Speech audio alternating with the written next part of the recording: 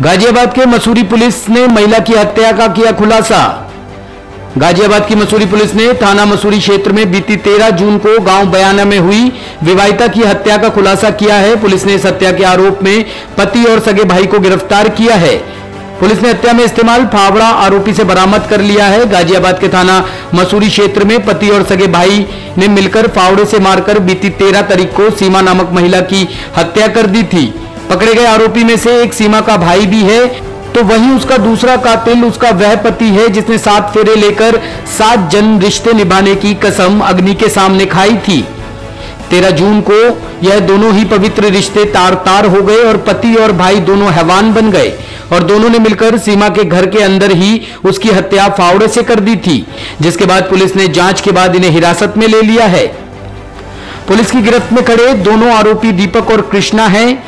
दीपक मृतिका सीमा का पति है तो वहीं कृष्णा मृतिका सीमा का भाई है।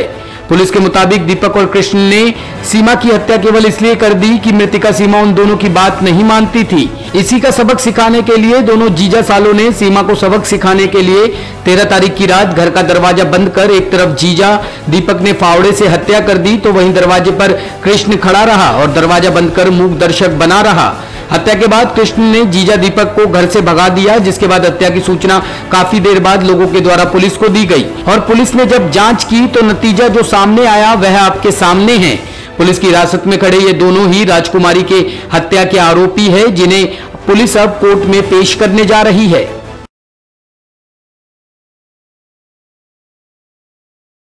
रोल।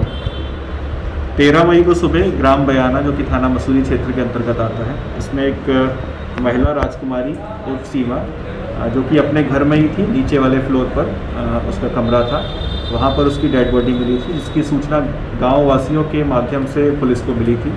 घर वालों ने कोई भी सूचना नहीं दी थी। लगभग दस बजे सूचना मिली। सूचना मिलने के बाद पुलिस मौके पर पहुँची और अपनी कार्रवाई शुरू की। तो इसमें जो महिला का पति था, वो स्वयं यहाँ पर थाने पर आया और उसने इस तरह से चीज़ें बताई कि किसी ने उसकी वाइफ की हत्या कर दी है। तो इसमें जब और हमने गहन पड़ताल की तो इसमें यही पता चला कि जो पति है, कहीं ना कहीं उसकी भूमिका संदिग्ध है।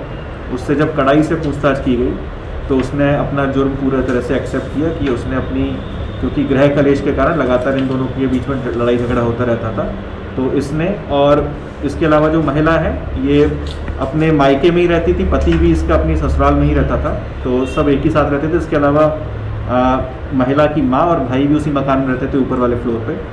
तो इसकी साले से और दोनों ने इन दोनों ने बैठ के ये प्लानिंग की कि क्योंकि ये महिला बहुत परेशान करती है तो कुछ करना पड़ेगा। तो वहीं पर ये गुस्सा में गए। और इसके भाई ने पहले महिला की भाई ने पहले महिला के ऊपर फावड़े से प्रहार किए। उसके बाद पति ने भी फावड़े से प्रहार किए और प्रहार करने का जब महिला की डेथ हो गई, उसके बाद पति वहाँ से भाग गया। इसमें साले ने उसको भगा दिया और उसको घर से, घर की कुंडी अंदर से बंद कर दी। किसी भी तरह से पुलिस को सूचना नहीं दी थी। जब पुलिस को सूचना मिली गाँव के माध्यम से, उसके बाद पूरा मामला समझ में आया और दोनों ने ही अपना जुर्म कबूल कर दिया है। दोनों को जेल भेजा जा रहा है। इसमें जो घटना में फावड़ा यूज़ किया गया था, वो फावड़ा भी प्राप्त हो गया है। इसके अलावा खून से सने हुए कपड़े चादर, तकिया, ये सब हमने कलेक्ट कर लिया और एफएसएल को भेजा जाएगा। बहुत ही अच्छी घटना ये खुली है ब्लाइंड मर्डर था। बहुत ही अच्छा थाना मसूरी ने, थाना एसएचओ और उनकी टीम ने बहुत ही अच्छा घटना का सफल अनावरण किया। टॉप स्टोरी ब्यूरो के लिए गाजियाबाद से नितिन चौधरी की रिपोर्ट।